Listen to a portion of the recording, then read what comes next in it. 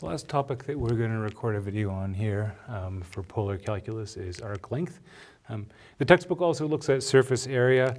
Um, but again, it's more or less, you know, you, you derive the formula for surface area and you kind of go from there. It's for um, solids of revolution. Okay, so arc length. Let's review. Uh, we, we know that for,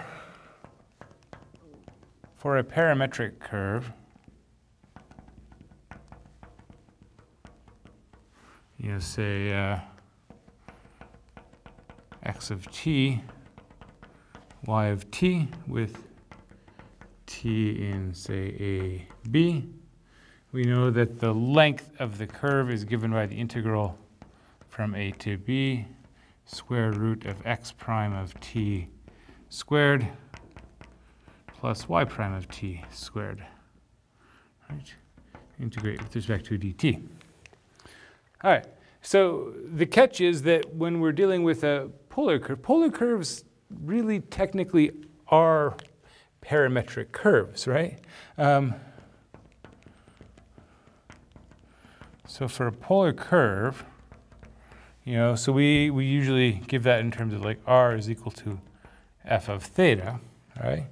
Um, we have, well, x, remember that x is r cos theta, right? So x is actually f of theta cos theta. Uh, y is r sine theta, right? So f of theta sine theta. Okay. Well, that being the case, I can calculate x prime of theta. Right? It's going to be, well, we're going to use product rule. So f prime of theta cos theta minus f of theta sine theta. Uh, y prime is going to be f prime of theta sine theta plus f of theta cos theta. Um, now, things are about to get a little bit messy because, of course, we're supposed to square. x prime of theta squared. We get uh, f prime of theta squared cos squared theta minus 2 f prime of theta f of theta sine theta cos theta um, plus f of theta squared sine squared theta. And y, you, you, are probably feeling like this is hopeless right now, yeah? But um, actually, it's going to work out okay in the end.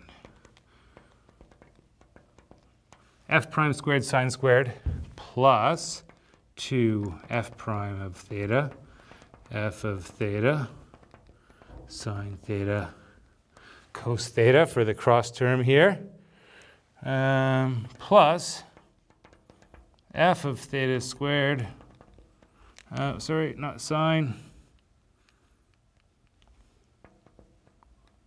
cosine squared theta. Oh, and now we see, now we see that we're in luck because these cross terms are equal but opposite. So if we add them together, those are going to cancel. And then Sine squared plus cos squared is 1. Sine squared plus cos squared is 1. So when we add those, pull out the common factors, we're in luck, right? What we get is that for a polar curve, um, so, you know, so let's say this becomes maybe theta between alpha and, and beta. Well, then we're going alpha, beta, square root. So we're just going to you know, use theta as the parameter instead of t. We work through everything, we simplify, we add it all up, and what we get is f of theta squared plus f prime of theta squared d theta. Okay, so the formula works out all right in the end, which might make us hopeful that we can do something reasonable here. Okay, so let's see. This is my f of theta. So f prime of theta is going to be 2 cos theta. Um, now, for the limacon, if you think about what the limacon looks like, um, this particular one, if I remember right, I believe goes something like this, goes around. I think it has this sort of inner loop, right? So something like that. It's not perfect.